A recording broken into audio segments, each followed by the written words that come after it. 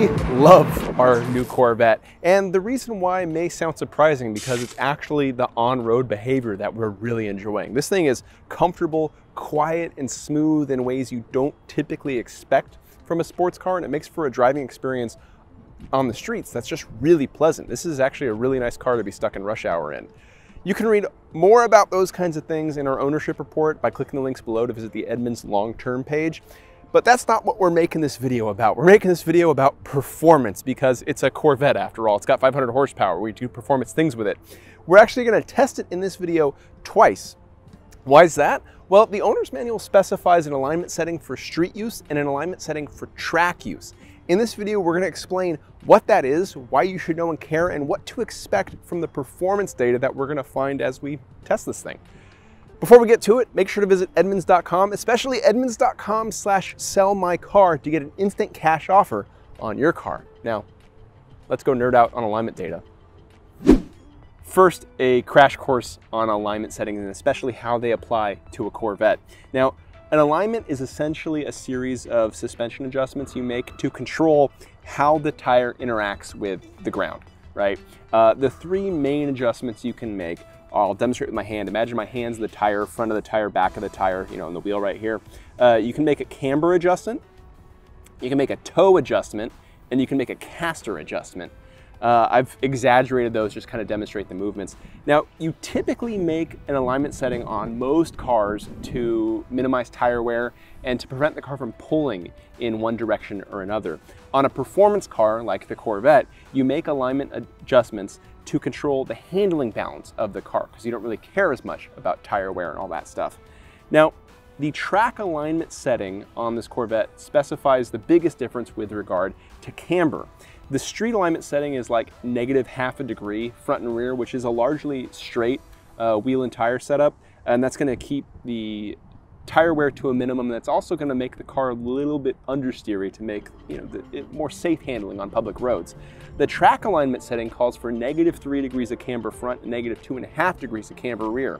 That's a really big change. Such a big change that you actually have to unbolt some suspension components and remove washers in order to have enough real estate to make that adjustment.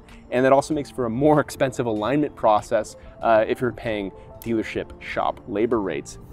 Now, those changes will sacrifice tire wear because less tires touching the ground and it's gonna get abused when you're driving straight for a long period of time. But it's also should minimize that understeer characteristic that uh, you would get during the street driving. Now, a PSA for Corvette owners intending on going to alignment shops. This applies to C7 and C8 Corvettes. Your Corvettes have adjustable rear caster. A lot of shops, dealerships included, will tell you that is not a thing. It is most certainly a thing on C7 and C8 Corvettes. And if you don't monitor rear caster while you're changing the alignment of a Corvette, you can end up with some really undesirable handling characteristics. I've personally experienced them and I can tell you you don't want to experience them. It makes for not a very fun car to drive. So go to a shop that either understands that you can uh, control the rear caster or monitor the rear caster of a Corvette or trust you when you say that. I'm working on my own tool that I've learned from reading the Corvette forums on how to keep that set, uh, that setting monitored, but look at edmunds.com, look at the long-term blogs for more information about that because we're kind of getting into the weeds here. So let's stop nerding out about alignment settings and get to nerding out about testing. Okay,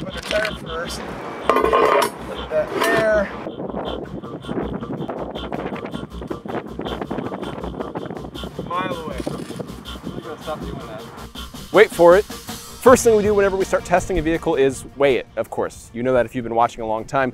Uh, a vehicle weight obviously won't change based on the alignment, but that's what we do anyway. How much does our Corvette weigh? About 3,600 pounds, and about 60% of that weight is centered on the rear axle. That's the weight balance you may expect from a mid-engine car like a Porsche Cayman or Boxster, but not necessarily the weight. This is heavier than you may assume. Why is that? Well, it's a larger car than those Porsches that I mentioned. It has a V8 and a lot of other luxury features, and those add up over time. Now, let's talk about power to weight. Now, that's when you divide the weight by the power or the power by the weight semantics.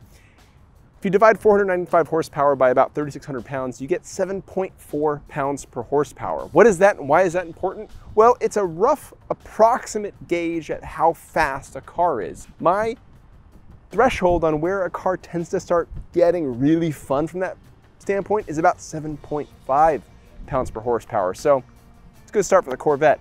What I'm curious though is how much that roof weighs. Let's uh, back the car off, take the roof off and weigh the roof just because, I don't know, I got scales. Do you? Sure. It's gonna be fun in the wind. It's like a sail.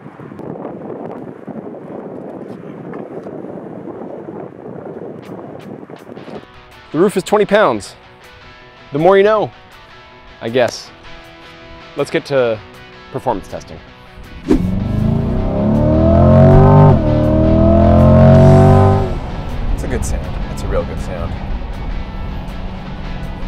For our braking test, we do a series of simulated panic stops from 60 miles an hour. We report the shortest stopping distance, and we also use the sequence of stops to gauge how the braking system is going to perform under repeated heavy use.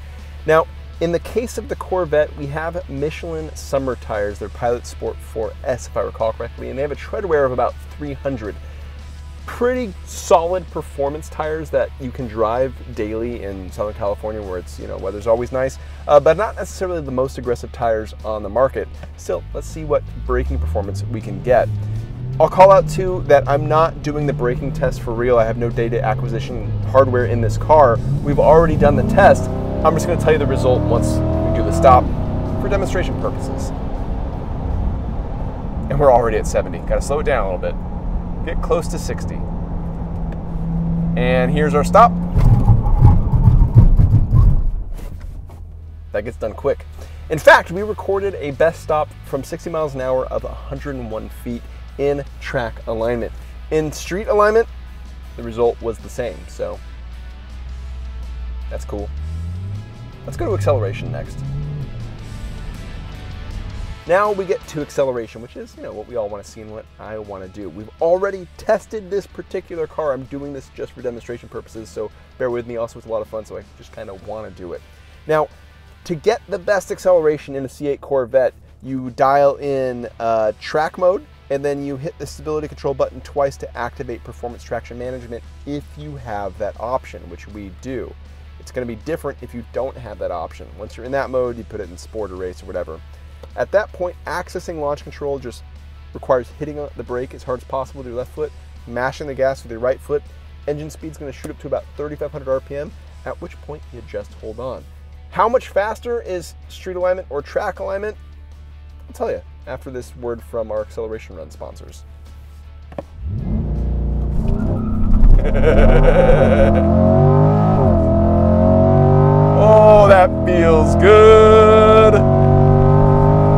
And it sounds good.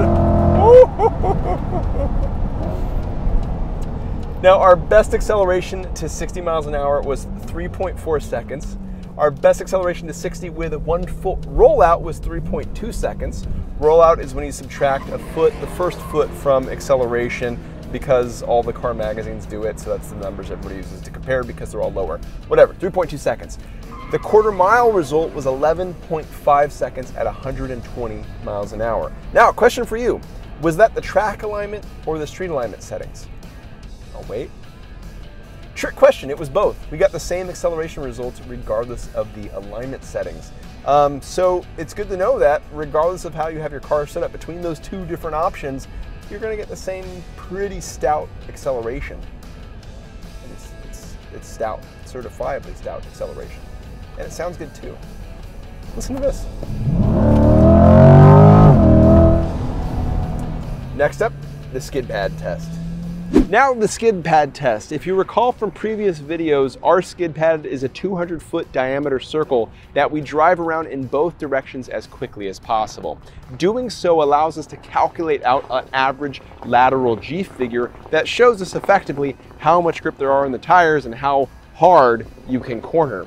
Surely this would be the test where we would see a difference between the street alignment setting and the more aggressive track alignment setting, right? Nope. It turns out the tires generated the same 1.08 average G in both directions and on both alignment settings. you don't see the benefits of a track alignment on a 200 foot skid pad because the speeds are too low. The track alignment's benefits really don't come into play until speeds increase, then the balance of the car becomes far more improved. We found this out during our own evaluation on our handling track. Well, a skid pad test is a good test at showing you one specific attribute of tire grip or of overall vehicle grip, but it's not a racetrack. It doesn't have the variety of corners, the complexity of corners, the range of corners you might experience on a racetrack. And there on a track is where the differences in alignment settings are going to be more noticeable. As part of our testing protocol, we also drive all of our vehicles around a handling track. And when we did that with this car in both alignment settings, our team reported that the street alignment setting had more perceivable understeer than the track alignment setting. And that understeer, we feel, would slow you down on track because it reduces the amount of fun you're having and it also takes away your confidence in the car to go with the amount of control you would hope it would have. That's why you do the track alignment setting. And so at the end of this video, our guess, our conclusion is that if you're gonna go to a racetrack, be sure your Corvette is in the track alignment setting, which come to think of it, is exactly what the owner's manual says. So we haven't really proved anything, but we validated. And validating is a very important part of testing. Yes, validation. Sometimes we need some validation. Yeah.